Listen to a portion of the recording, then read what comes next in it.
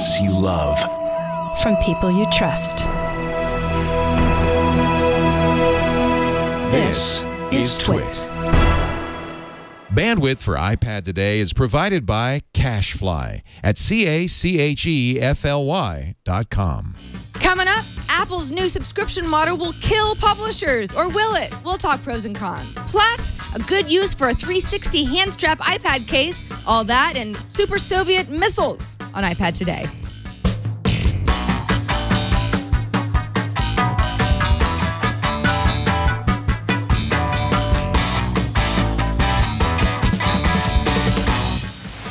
This episode of iPad Today is brought to you by Slingbox, which can turn your iPad into a television. With the new iPad app from Slingbox, you can watch your home TV on your iPad anywhere you go. Check it out at slingbox.com. Oh, hi, everyone, and welcome to another exciting episode of iPad Today. I'm Sarah Lane, and Leo Laporte is still on vacation, but that's okay. I've got good news. My buddy Scott Johnson has been gracious enough to agree to co host with me. He doesn't know what he's in for, but it's too late now because he's here. Hi, Scott.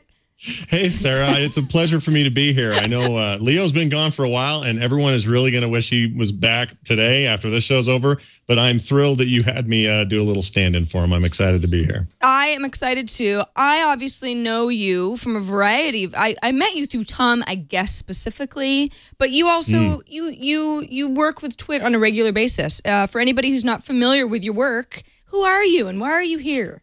Well, the short story is um, I, I, you could call me a web cartoonist. You could call me a podcaster. Just don't call me lazy. Um, I do a whole bunch of stuff, but for people who aren't familiar with my work in podcasting specifically, since we're on this show, go to frogpants.com and it's all there. Everything from my morning show to all the other shows I do. And I do an iOS show called App Slappy with Eileen Rivera, who works there at Twit. Yes, Uh, she sure does. Married, married to Tom, I guess we could say that.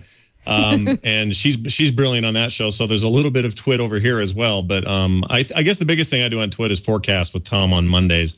So some of the listeners here are probably familiar uh, with that show. And we've had you on there, which is you know is a bit of a yeah, turnaround here. it's been a while. It's what FourCast. Anybody who doesn't know FourCast, it's it's kind of a prediction show. I mean, pr- predictions for the next year, but then some sort of far out predictions. And you kind of, unless you've really changed your mind, it's hard to be on FourCast regularly. So I know you guys have the unique issue of being like, okay, who in the world have we not had a FourCast?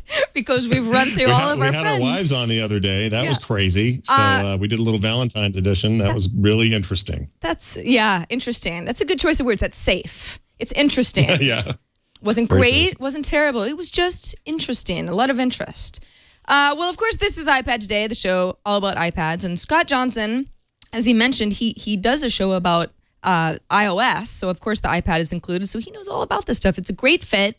And um, I, I don't know why I didn't think of it before, quite frankly. But um, but it's nice to have you here.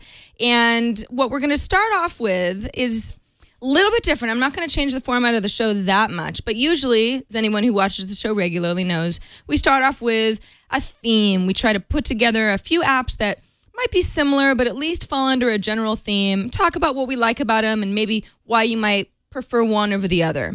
But this week, there's so much talk about Apple and the whole Apple versus the publishers because of their new subscription model that publishers have until June 30th to comply with, which, um, well, in in the uh, it, should I put on my Steve Jobs hat? Yeah, could you? Because I mean, Okay. this has been all I've heard for the last two, three weeks, and I swear, this isn't. I don't think there's been a bigger story dealing with iOS or the iPhone or iPads probably since Antenna Gate, Maybe No, Um, I agree this with has really stirred up the poop. I've noticed in the last couple of weeks, so I'm excited to talk about that too. Me, me too. So this is this is um, my interpretive reading of of what Apple has told the publishers. Our philosophy is simple: when Apple brings a new subscriber to the app, Apple earns thirty percent share. When the publisher brings in an existing or, or or new subscriber to the app, the publisher keeps one hundred percent, and Apple earns nothing. This is Steve Jobs. This is direct quote. All we require is that if a publisher is making a subscription offer outside of the app, the same or better offer be made inside the app so that customers can easily subscribe with one click right in the app. Okay, so you read that and you say, well, that seems fair. They're giving customers a choice. They're not forcing publishers to do anything. They just want the customers to be able to subscribe in app or go to the publisher's website or wherever else they can subscribe if they so desire. The problem with this is that, and as you and I know, I mean, if you are used to working within the App Store environment, and when you're within an app, especially because the iPad is, you can say it has multitasking, but it's not really multitasking in the way that you can you sort of jump in and out easily. If you have a one-click subscription button within an app, that's what I'm going to use. No, it seems like uh, again, it seems like a nod directly to the user, and it says to us, "Hey, here's an easy. Okay, well, let's use a real world, world example. Let's take the most obvious app I think in most people's minds that they already have a subscription to as a service, and the app is acting as a sort of an extension to that service, and that would be something like Netflix. Right. The idea of being able to go into a Netflix app as a discovering user, someone who doesn't currently have Netflix streaming as a as a service they're using either on TVs, Roku's, computers, or whatever, they see that and they go, "Oh, well, I can easily subscribe by clicking here. It asks for my password, the Apple password, and bam, I now have a subscription. I'm off and running, and I'm streaming stuff." Exactly. That is great for me as a user, but I could see how for somebody like Netflix, and not talking about them specifically, but anybody in that side of it is saying, well, wait, we don't want to give you that ability. We want to retain that ability because we're letting people uh, discover and subscribe to lots of different ways. And we don't want to have them, uh, you know, we don't, we, we want to be able to control that experience, be able to follow the metadata, understand who's coming, who's going, who's subscribing, who's not. And they're not getting all of that from Apple. At least that's the claim. Exactly. And it, it's this is also a lot of this is just potential issues for publishers because again, they've got a few months to work it out.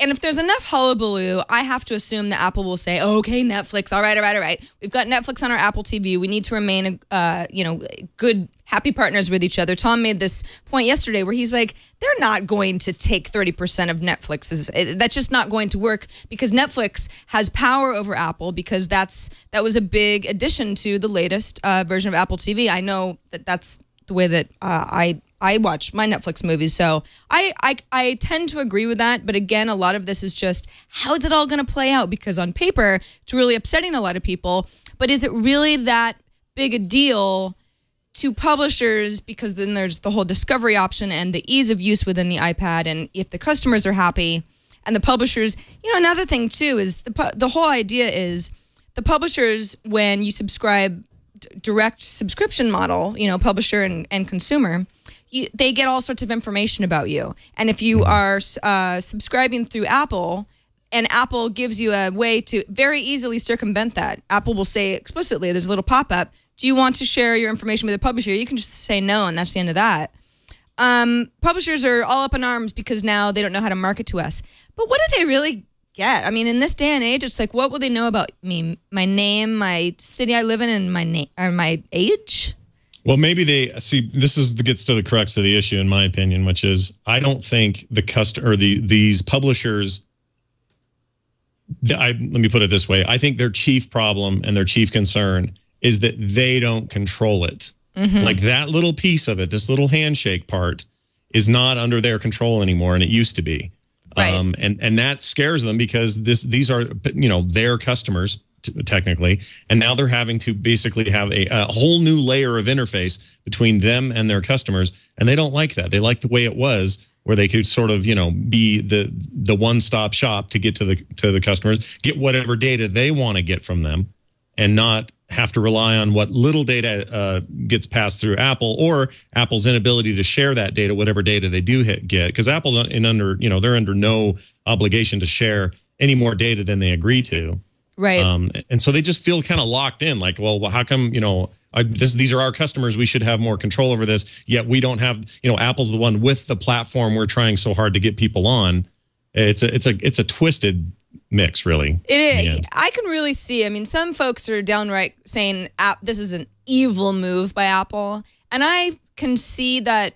I can see that side of things. I also think that if you're siding on, if you're siding with the publishers, you're really siding with something that it's it's it's the unknown that's scaring everybody because this isn't even in place yet. It is for a few uh, apps though, and in fact, this is a good um, time for us to get into sort of our theme, which is apps that may or may not be adversely or or or positively affected by the new subscription model. And a couple of uh, examples I have. One you've heard me talk about before on the show is Wired.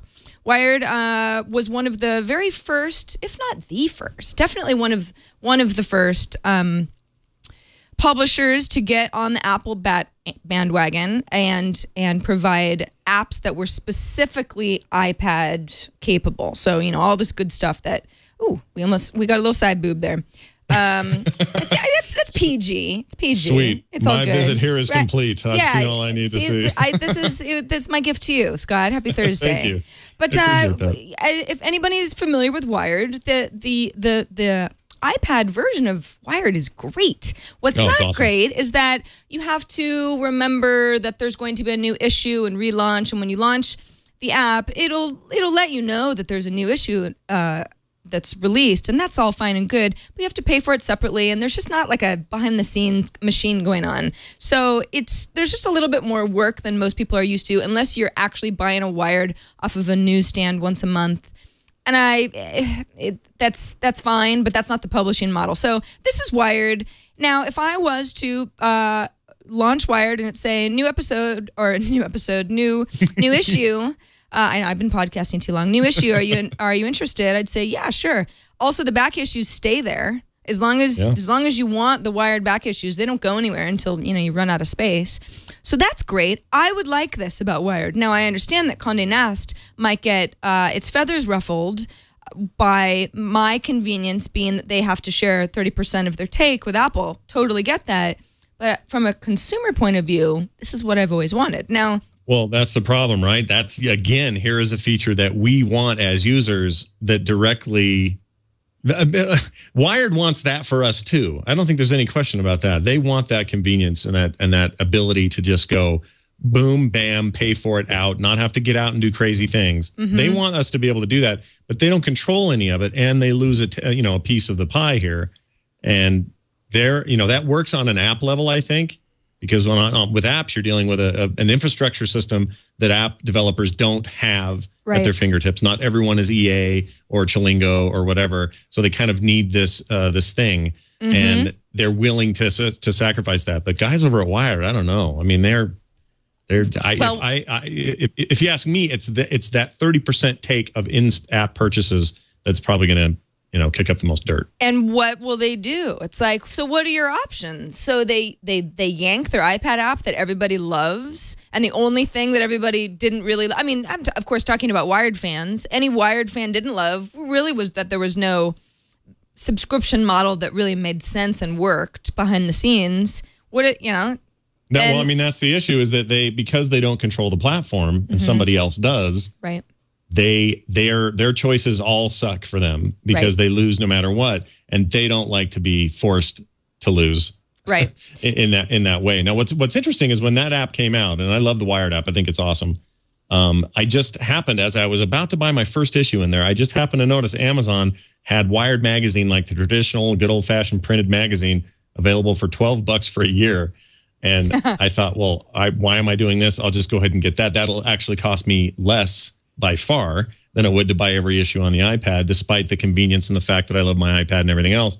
So there's al- there's also that weird side of this where subscriptions are dropping like crazy to try to drive people to buy, you know, printed stuff, and that that, that makes it even more complicated for the likes of Wired and, and Apple, for that matter. Very true. Another magazine uh, publisher, rather, that already has jumped on this app, Apple bandwagon and been like, okay, Apple, we'll work with you. Let's give it a shot. Uh, are the folks at Nylon who have even gone on record as saying, so we don't get some consumer information you know that we we we we make them happier and so we're happy so this is uh nylon is just one of um, a few apps that that have been part of this kind of publisher launch popular science being another and of course the daily uh, which we've covered uh, at length so we don't have to talk about the daily today but i'll go ahead and launch nylon so you get an idea of what your options are. Okay so this is um just kind of loading up here. We're in the studio and it's always really really slow in the studio. I don't know why. So here we've got this nice subscribe to nylon magazine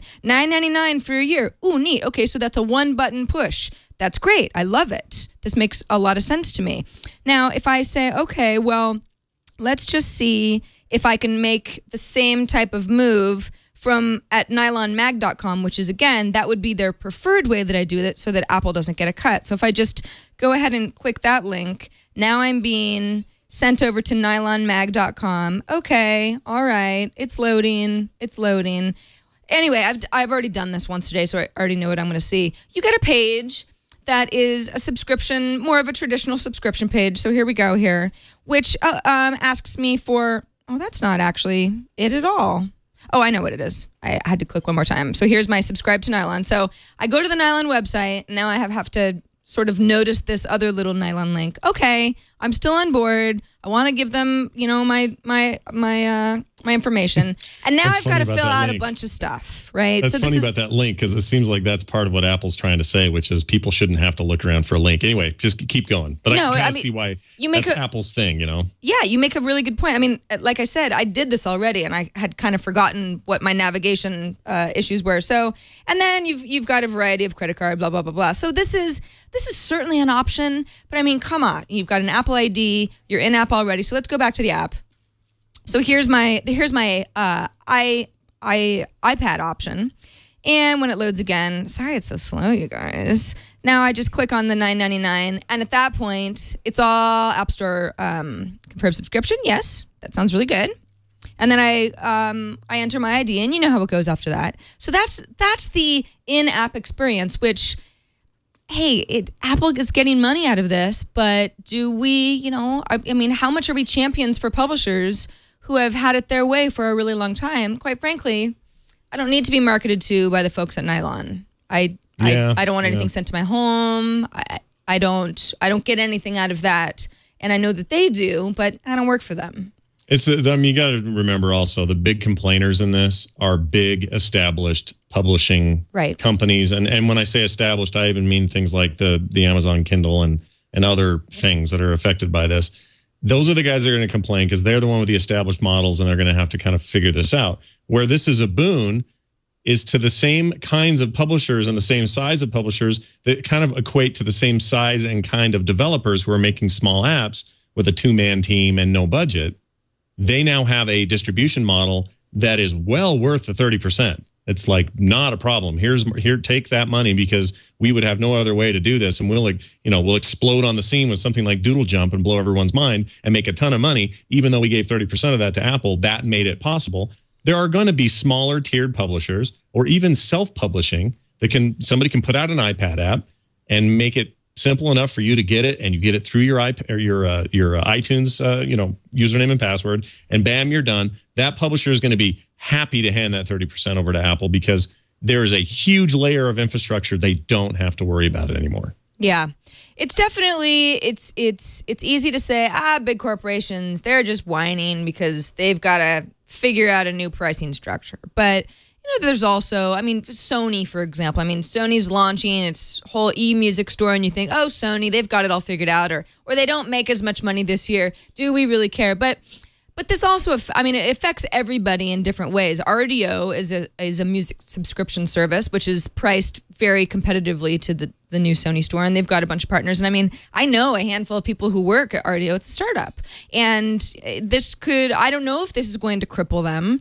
But it's certainly something that could really set um, good companies back if they either have to charge us more or not make their margins and fold.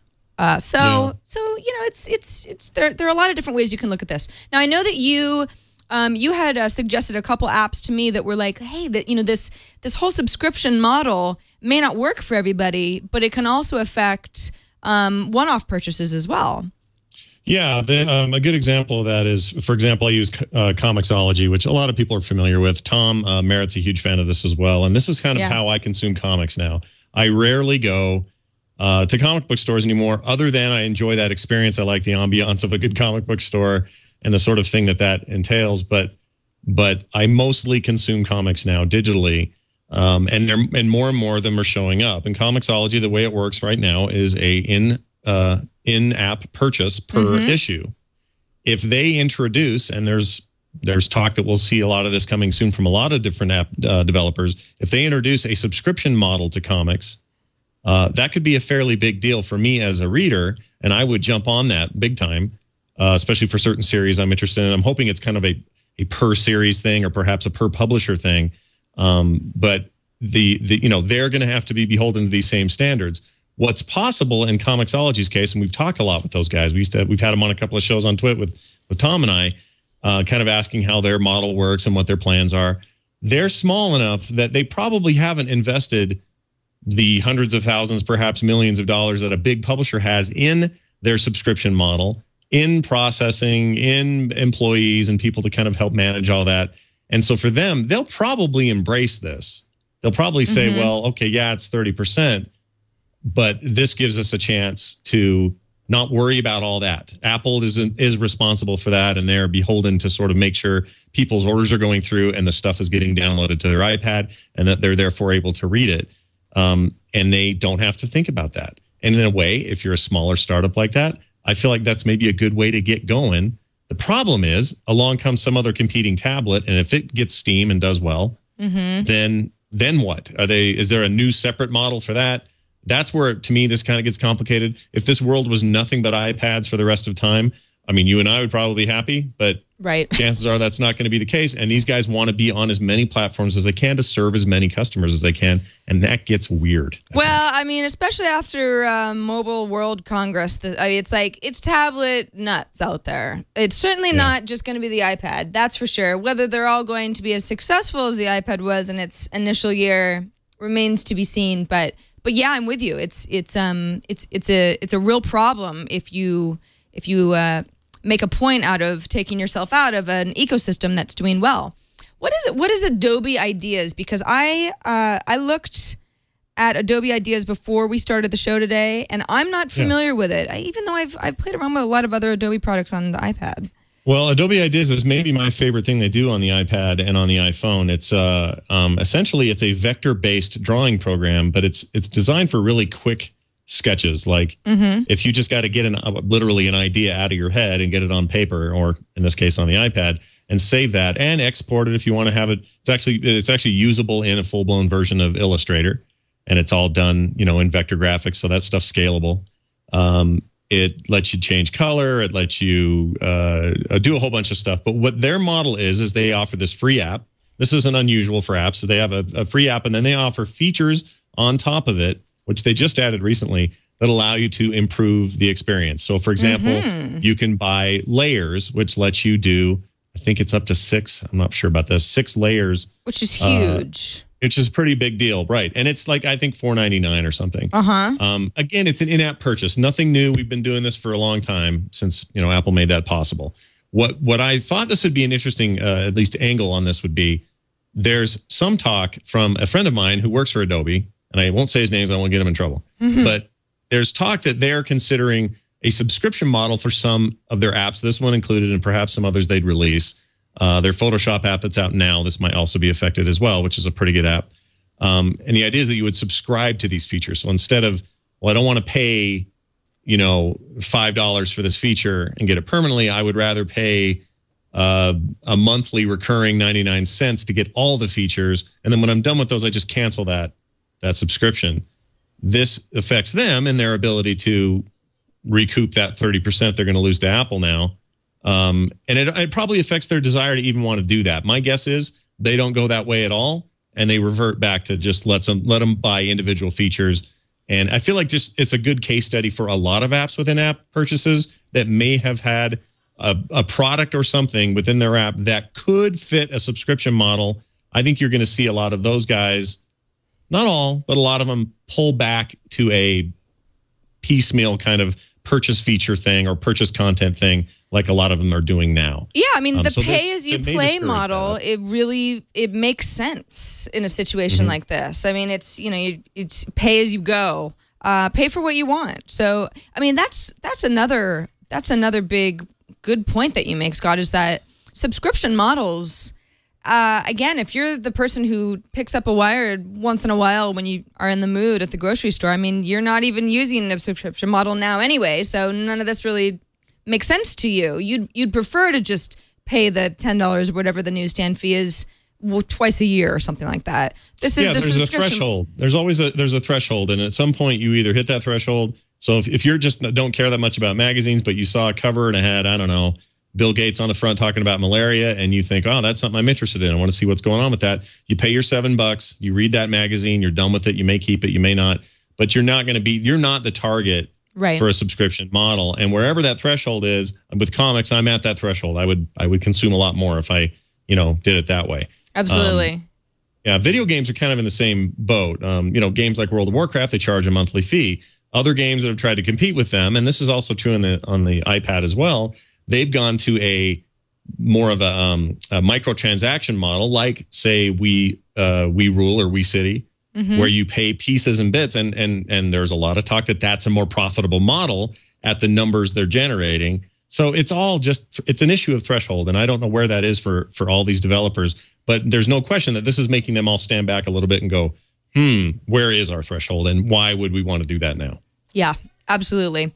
Um, so those are a few of our apps that we've thought, hmm, things might change for these apps, or maybe these apps will get better, or maybe they'll rethink the, their strategy. And you know, hopefully the consumers are the ones that that don't get screwed in the end. I think really monetarily we may in some cases, but hopefully it, it won't be uh, because um, because Netflix pulls out of the App Store or something awful like that, because that would really ruin my next plane ride. For all the links to the apps that we just mentioned, you can, of course, visit iPad Today online. If you don't know the URL, you're missing out, buddies. It's twit.tv slash IPT, and that's where you can watch all of our past episodes, read our show notes, subscribe to the show. You can do it through iTunes. You can you can watch our download link straight from the page, whatever you want. We don't care as long as you enjoy it. We're on uh, YouTube as well. So if you want to visit our Twit YouTube page, uh, go ahead, watch our show however you like. Quick reminder if you're not watching the show live, that we do record iPad Today on Thursdays, 1.30 p.m. Pacific, uh, 4.30 p.m. Eastern. I always have to think about that, even though I know exactly what time. Scott, you're ahead one hour, correct? So your Yes. mountain time. I'm Mountain Time, so I'm one hour ahead of you. So when it's when it's right now, it's two o'clock for you. It's three for me. So 2:30 p.m. Mountain Time. That's when on Thursdays for all you mountaineers. And then 3:30 Mountaineers, Central, and and you've you've at least got the states covered. And GMT, I, I'm not even go, go into that because that'll take a while. Uh, but anyway, thanks for watching the show. And if you're not watching live, check us out. It's fun. You can be in the chat room, and we mess up sometimes, and I cut that out of the show later. So it's like the it's like the um the uncensored uh, PG side boob version of iPad Yeah, I was going to say, more side boob in the unedited version. So be here live for sure for that. Before we uh, talk about a, a few kind of non-subscriber publisher war type of uh, iPad news items, just want to take a quick moment to thank Slingbox because they're our sponsor on the show today. If you don't have a Slingbox, I assure you that you're missing out because it is the way to watch TV with you anywhere anywhere you go, you can watch TV with you, and you say, "Well, wait a second, I I have Hulu, or or I I can download TV shows and I can take those with me." No, no, no. It's your like living room television. It's your home system. Anything that's on your DVR, anything that you watch in in the specific way that you watch it, that is what you take with you. It's actually a it's a it's a sling box that you can pick up at Best Buy and now Amazon. You can get a sling box through Amazon too. So if you're not a huge Best Buy person, but you're a big Amazon customer, then this might be the right time for you. And you hook it up to your your TV or your DVR, and then you you you you go off and do your business. That can that you can um you can access Slingbox on any smartphone, iPod Touch, uh, your iPad now. The Slingbox I, iPad app came out a couple months ago now, and Leo's always threatening that he's going to take his iPad to the Giants game once once baseball season starts up and watch all the um, instant replays because it, he'll have he'll be recording the show at home and you have the option to be able to scrub back just like a DVR. I mean, it's, it's the TiVo capabilities that we can't live with.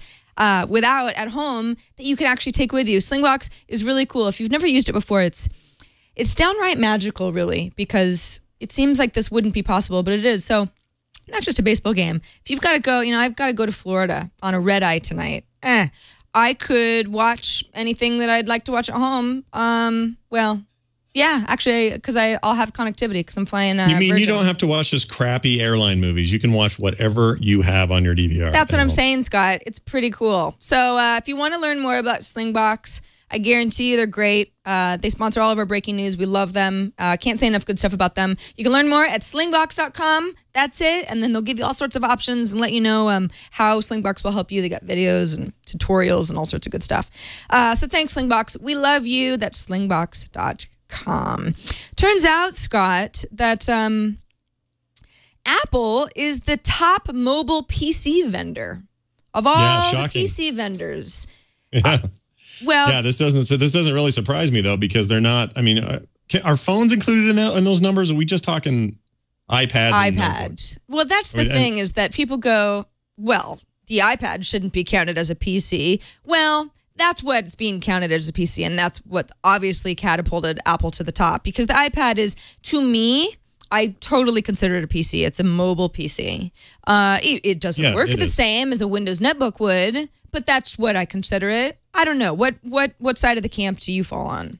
Well, I mean, it's a hard call. I have a, I mean, I've got a MacBook Air 11 inch Air that I love, um, that I do a lot of things on, but I use my iPad the most for most of the kind of work I do. And I'll like occasionally I'll be in a client meeting where I'm showing off some illustration work or something. And this thing is perfect for that. In fact, I use Adobe Ideas for it. I'll import like a, you know, an image of something like a photograph of something we need to change and I'll circle it and save it and PDF it off to everybody all while I'm sitting there. I can I can't even do that kind of sort of convenient work and quick work with a stylus and stuff on a notebook. So in a, in a very real way, it's become more productive for me than a notebook. But it, I, I mean, then I guess if you're going to call, I kind of am on the side if you're going to call an iPad a mobile computer, mm-hmm. you kind of have to call an iPod Touch or an iPhone a mo- mobile computer, and then you got to call Android phones a mobile computer.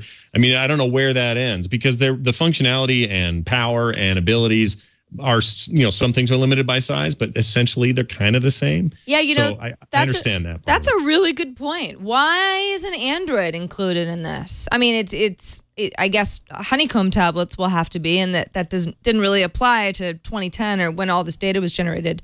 But uh, but yeah, I mean, my iPad. There are certain apps. The Wired app is a good example of one that's iPad only. World of Goo. I love World of Goo. iPad only. But for the most part, it's just a screen real estate issue for the iPhone. But it's not as if I can't do most of these things on the iPhone as well.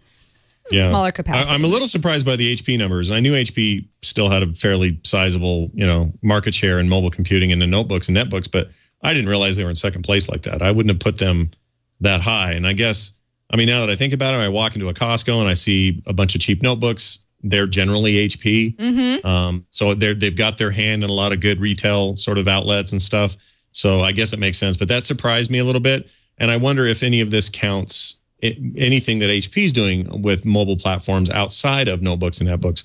I mean, I don't know. Apple's kind of ruled the 2010 tablet market.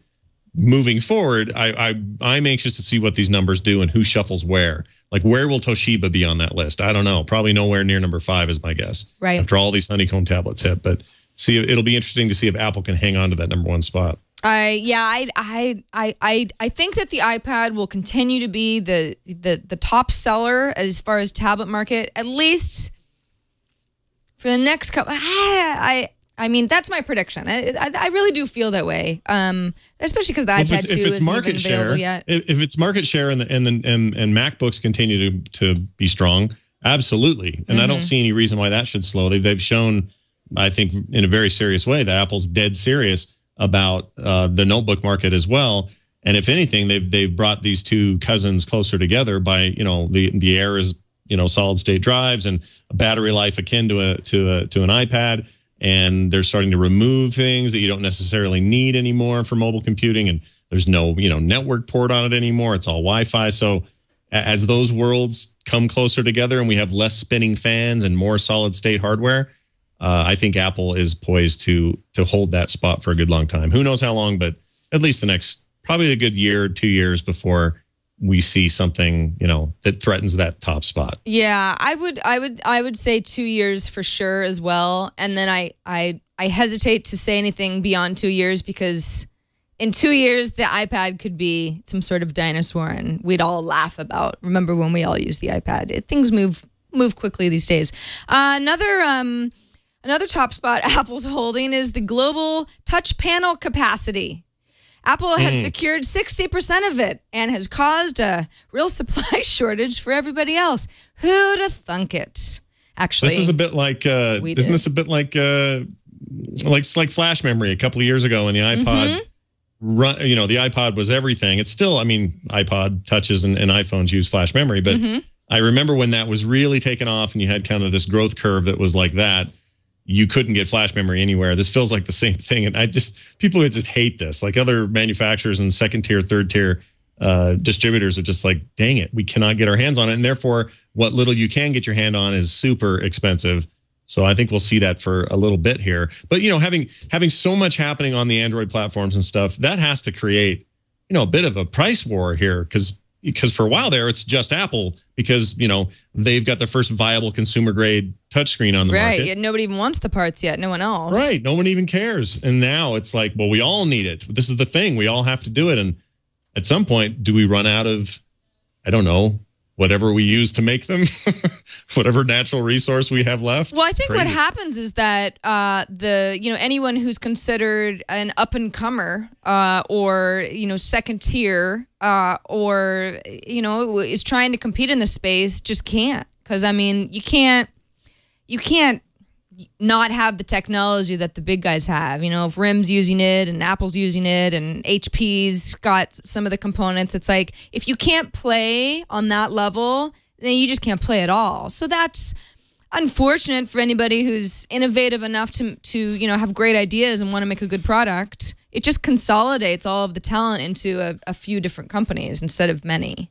Drock Dow or Drock, let's see, Drock W in the chat room said uh, Apple buys up an entire market and drives down the price for everyone in the long run. It makes a good point. In the long tail of this, um, you do end up with cheaper prices. Flash memory's never been cheaper, although I, it fluctuates. But um, you know, you can you can buy an SD card for pennies uh, compared to what you used to have to pay for it. And so that kind of demand, even from one distributor or manufacturer, does drive down prices in the long run. I'm thinking more in the next next six months to a year what that does to the price of raw materials needed to make products like this. Eventually you catch up, eventually it's okay. Assuming it's not, you know, it's a fairly renewable resource and Apple's been pretty good about that. Right. Um, we should be we should be okay in the long haul. Prices will go down. Thanks, chat room. Sometimes you guys have great words of wisdom. Most of the time. Not 100% of the time. 60%. No, nah, just kidding. Uh, iPad stars of the week. There's just one this week.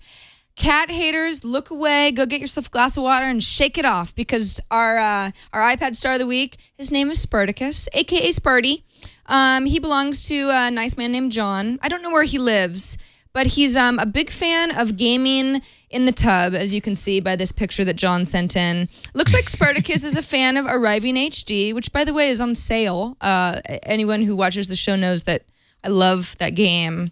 Um, so I don't know. They they want to make it more worth your while, but uh, cats in c- cats in sinks. I think there's like a Tumblr account about this exact thing or some sort of There, other there website. should be. Yeah, there should If- be. My if- cat if- is actually uh, my cat I think is in a sink right now and I'm not kidding about that. Yeah. Well, maybe your cat and, and Sparty could uh, go bowling later. Sure. he looks like a good he looks like a good time. So thanks, John. Spartacus, great name, and you know he's orange, so I have to feature him. Uh, but cats aren't the only people who like iPad today. Of course, humans do too, and dogs and birds. And somebody sent me a fake alligator uh, a while back, which I didn't feature because it was like a stuffed animal. And I don't know. It's it could be anything. Oh, it was like a it was actually taxidermied dead alligator. It wasn't though. You could tell. Oh. Well, because a while ago I had said, well, what would be, you know, it's not just cats and dogs I want to feature, but that seems to be all anybody ever sends me. Send me an alligator and I'll be really impressed. But then you just open a can of worms because everybody seems to have stuffed animal alligators, stuffed animals. Uh, we got an email from another John. This is John with an H. Uh, in episode 31, you mentioned that you get comments from users about the app's price being different. Yes, and in fact, Arriving HG is a good example. App prices, we we will tell you what they are at the time that we record the show, but they fluctuate depending on it's you know an- anything that the company or developers want to charge. So they change all the time.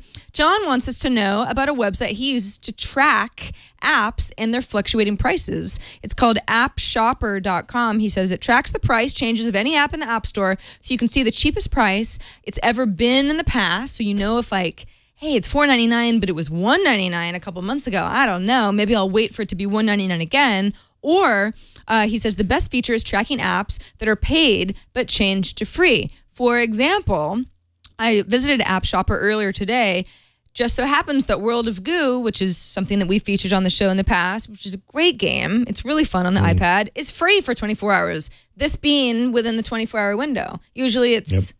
oh, I think, Nine, uh, four ninety nine is it normally? I thought it was even more. I thought it was more It, than it might have been. $10 They may have launched at four ninety nine. At least yeah. And by the way, by the way, you're absolutely right. That that version of the game, definitive version of World of Goo. It's been around for a couple of years on the Yeah. Wii and on PCs. Yeah. But man, it's like it was born to be on my iPad. It's amazing. Totally agree. It is. It is my preferred. It, it's a really. f- It's a really fun game. There are certain levels that I have not gotten past, and so I've I've had to take a little bit of a timeout from World of Goo just for my own sanity. But hey, it's free right now. This would be the time to get it. Um, and that applies to a lot of other apps. There's almost no way it's like you know an eBay auction, but but Yep. so many of them. It's it would be very hard to keep on top of it. So appshopper.com, really good resource. Thanks, John. I had never heard of it before, so I would Uh, argue that I could not. We've been using appshopper.com for stuff for App Slappy for a good year or more. Oh, yeah? And I don't think we could do the show without it. It is such a valuable resource. And it should be mentioned, they now have an iPhone and iPad app uh, version of App Shopper that ties right into their database, gives you push notifications. You can watch apps, all that kind of stuff. And there's other apps that do this as well, but I don't think any of them do it as well as App Shopper. And we sound like we're shilling for them, but man, it is awesome. They are nailing it, and it's it's something I I don't know that our show would would be as good without it. It's it's honestly a great resource. Well, Really there you have it. Um, by the way, the chat room was pointing out that I'm a big dummy. I haven't even had any of this margarita, by the way. I'm just slow on Thursdays, kind of a slow Thursday. 99 cents. 99 cents for 24 hours. To me, I was like, wow, that's as if it was free because I do believe I paid 9.99 when when it initially came out. So thank you for keeping me honest. 99 cents. It's a dollar. It's not free. But it's a lot cheaper than it ever has been before. So there you go. Um, Steve Dickey, who is a teacher at Divine Child High School in Dearborn, Michigan, uh, had we had taught we've talked in the past. We try to feature as many cases and stands as we can. A lot of them are similar. Leo and I are always, you know, particularly laughing about the ones that you sort of slip on a hand, you can spin them around. We saw some of these at Macworld, and we are like, why would you really want to do that? Steve has has a good reason, and he sent us a video to tell us exactly why. All right. So Sarah and Leo, you asked why anybody might want to have one of these hand strap things attached to their to their hand while they're walking around with the iPad. I'm a teacher, so I like to have a very secure hold on my iPad while I walk around so that no student knocks it out by accident. This is a Belkin 360. It comes with a couple of attachments. One is this this handy disc that covers the back of the case. When you get that, the first thing you do is take it off and get rid of it because mm-hmm. you'll never get it off again if you put it back on. So this has this, and this stand attachment. I typically use the hand strap when I'm walking around the room. Now, what's one of the ways I use it? I've got this cool program called AirSketch. You can see it up on the screen, and I can write on my iPad and have it appear wirelessly on my projector. So I can say, for example, I'm going to zoom in on this picture.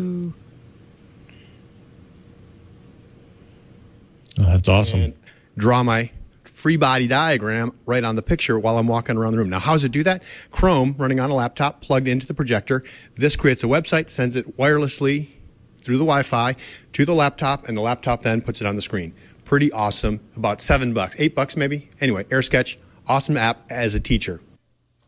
I love him. That you He's can great. you can tell that he's the fun teacher that everybody hopes they're going to get into his class. You know. Ponytail. Oh, got the cool and, and he's going. and he's excited and he's he's resourceful and he's got an iPad on his hand and he's vector diagramming. It's it's it it's it reminds me of those teachers that you know you weren't actually sleeping in the back when the projector went on and it's like oh my gosh algebra equations. It's like this is a really it's a really cool real world um, reason that the on the hand and and having it be able to swivel back and forth is a perfect example. So thank you, Steve.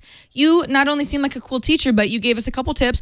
The Belkin 360 uh, case, I guess you would call it, or stand or handstand, and then AirSketch, which uh, we have not tried out on the show in the past, but I love the way it works, where it's actually talking uh, to itself uh, through through uh, through uh, browser.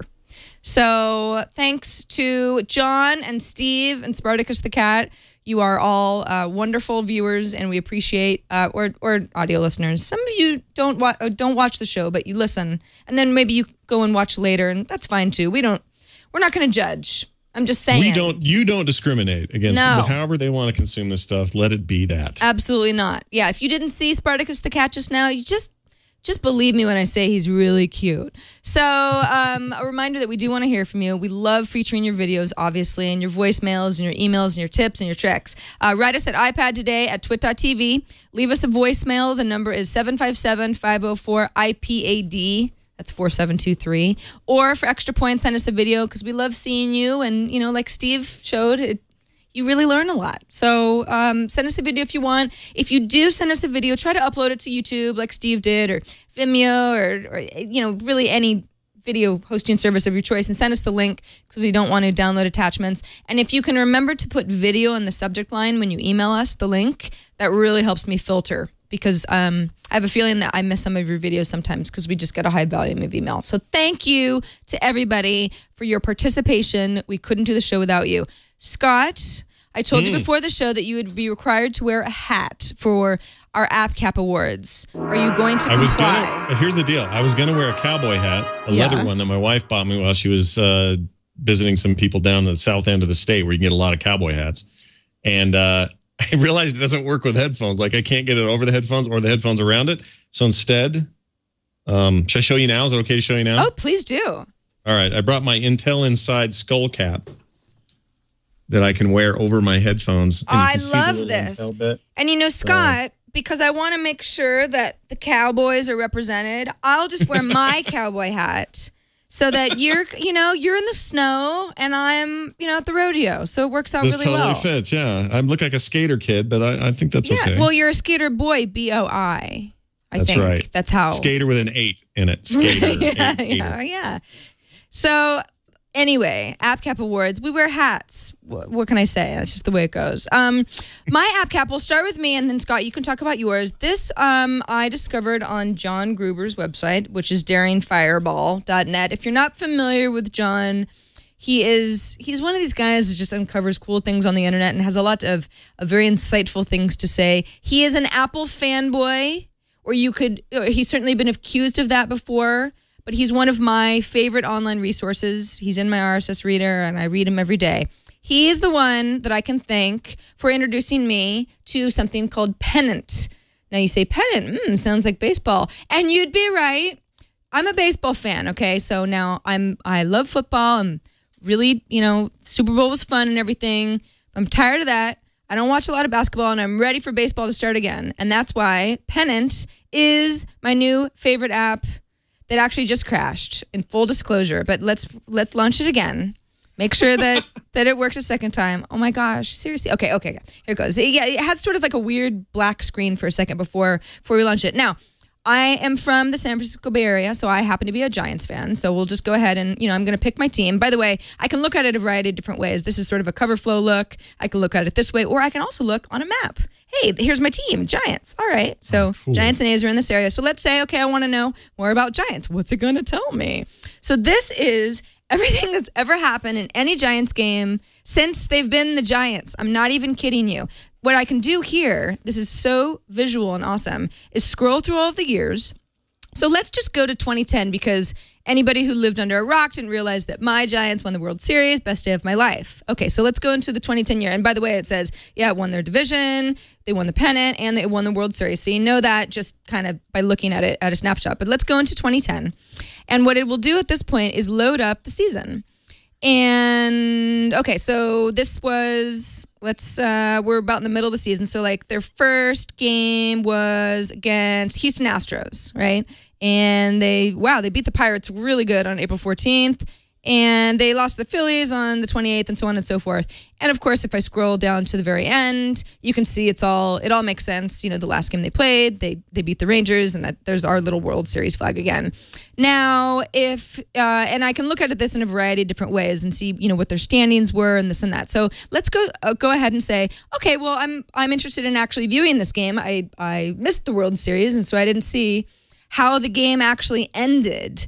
Okay, so now this is the game itself. And so again, this is really visual and it's all based on, you know, touch. So if I'm just pulling around, this is I'm looking at my Indians, right? So like in the bottom of the fifth, David Murphy struck out, okay, and there's no score.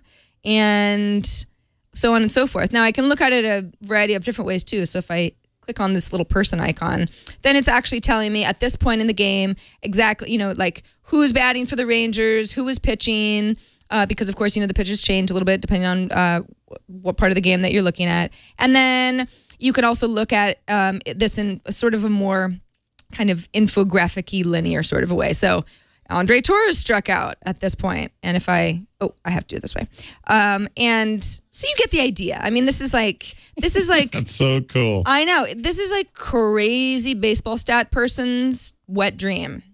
Pardon Yeah. my French, but that's exactly what it is.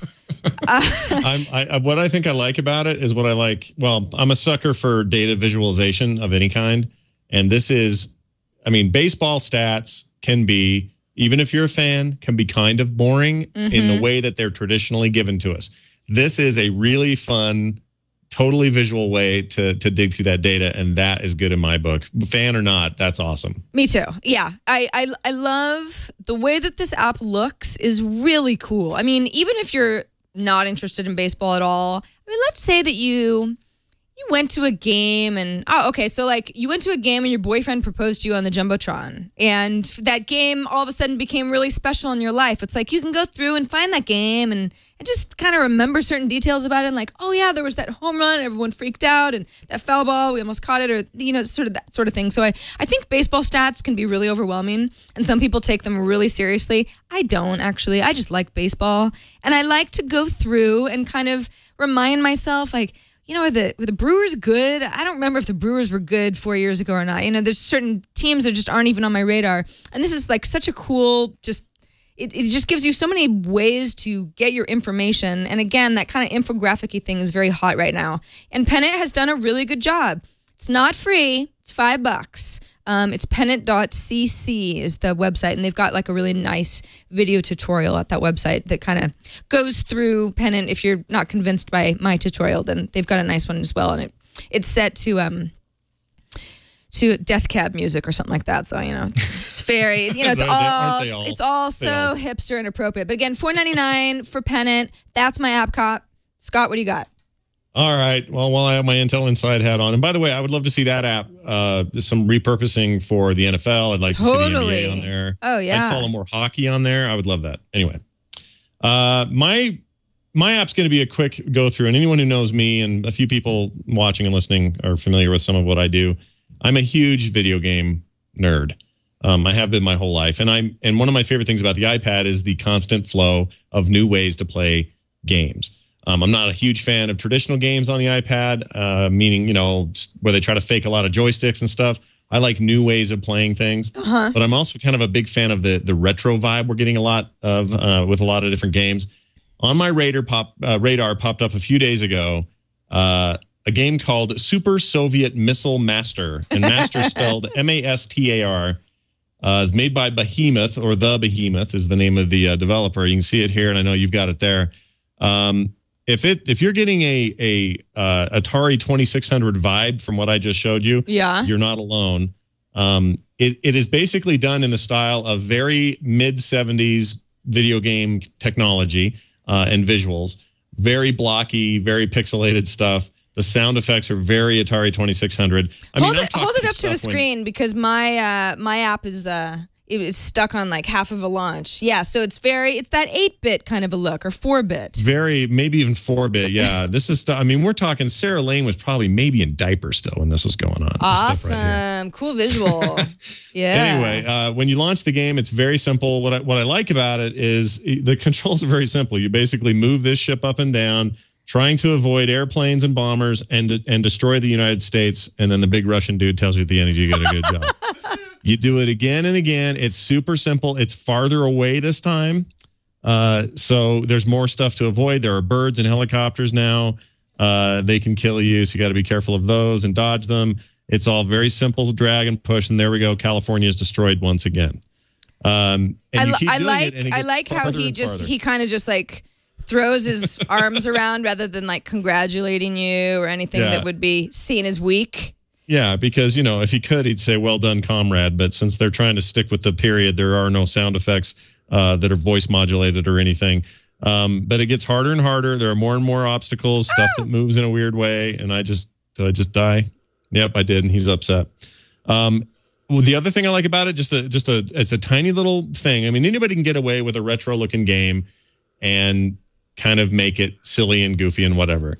What I like about this game is the entire time it's flickering like an old propaganda film. It is. and so you feel like you are playing Cold War made in some Russian bunker 1981 kind of thing. The the the the the subtle nod to that kind of aesthetic is what makes it for me. It's not even that fun of a game. I put that in quotes. There's nothing about this that's like groundbreaking in that way, but they have they basically have, basically have in, in maybe a very ironic way, but they basically created this this thing that really could have been Russian propaganda on your 2600 in 1976. I And, love uh, this. Love it, totally love it. It's you really know, great. and it's worth noting that you said it's not even really that fun, but it's Yeah. free. It's a, Yeah, it's free. It's a free game. You know, it's this is the sort of the these are the sort of things that are so great in the App Store that you come across and you're like, this is awesome for like two reasons. But it's not going to blow your mind. I mean, it's not a world of goo. It's just like a Yeah. fun retro thing that that you know reminds you of your childhood, or it's just a good time waster, or you just Yeah. like to have the Russian doing that, you know, congratulations. in, in, a way, in a way, it's. I mean, it's. I know it's kind of meant to be somewhat funny, but Right. it's also kind of got.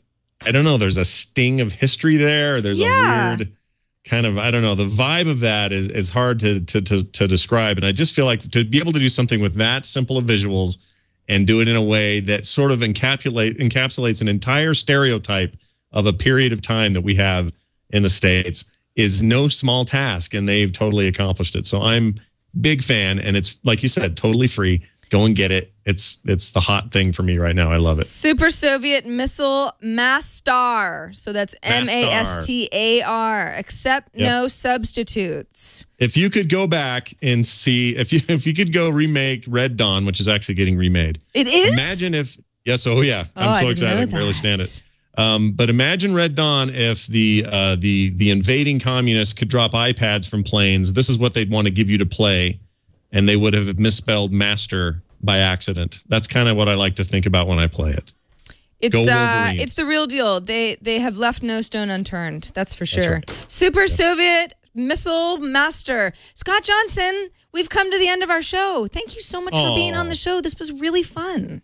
I've been having a ball. I'm so glad you had me. And um, anytime uh, that you uh, are short on somebody, I'd be happy to come back. I, I I'd hope, be uh, happy to it. have you. More than happy. Remind folks where they can find you online at all your various places if they missed at the beginning of the show. Sure. Um, they can follow me on Twitter, twitter.com slash extra life. Uh, He's, he's a good he's a good tweeter. I can vouch for that. Oh well, thank you. I try to. I try to tweet eff, uh, effectively. Yeah, no, you're a good tweeter. way. Uh, they can find everything I have going on. That's the comics, that's the shows, all the podcasts, everything that's going on. Uh, there's something for everybody over at frogpants.com. So check that out today. Cool. Well, thank you so much, Scott, and thank you to everybody who watched live or is listening later or or watching a week from now. If you're in the future, please write me and tell me how it is. I hope it's good. I'm Sarah Lane, and we'll see you next week on iPad Today.